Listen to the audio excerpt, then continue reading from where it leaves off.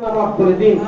আল্লাহ আজকের এই দিনে আল্লাহ আমাদের জাতীয় জনক বঙ্গবন্ধু শেখ মুজিবুর রহমানের ছিল আমরা এখানে সমবেত হয়েছি। আল্লাহ ইয়া আল্লাহ উনিশশো পঁচাত্তর সালে পনেরোই আগস্ট তার পরিবারের সদস্য ওনাকে নিহত করেছি। আল্লাহ তাকে শহীদের তাকে জান্নাত শ্রদ্ধা নসিব করে দিন। আল্লাহ উনিশশো একাত্তর সালে মুক্তিযুদ্ধ শহীদ হয়েছেন আল্লাহ তাদের সকলকে আপনি জান্নাত শ্রদ্ধা নসিব করে দিন। আল্লাহ উনিশশো পঁচাত্তর সালে ইয়া আমাদের সন্তান আহমেদ সহ যারা নির্মমভাবে কারাগারে নিহত তাদেরকে করে তাদেরকে জান্নাতুল করে দিন।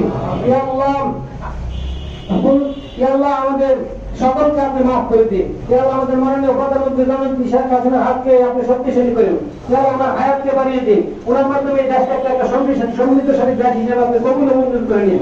আমাদের আল্লাহ মাননীয় সংসদ সদস্য হাতকে শক্তিশালী করে দিন। আল্লাহ ওনার হায়াতকে বাড়িয়ে দিন। আল্লাহ ওনার পরিবারের সকল সদস্যদেরকে আপনি নিরাপদে রাখেন।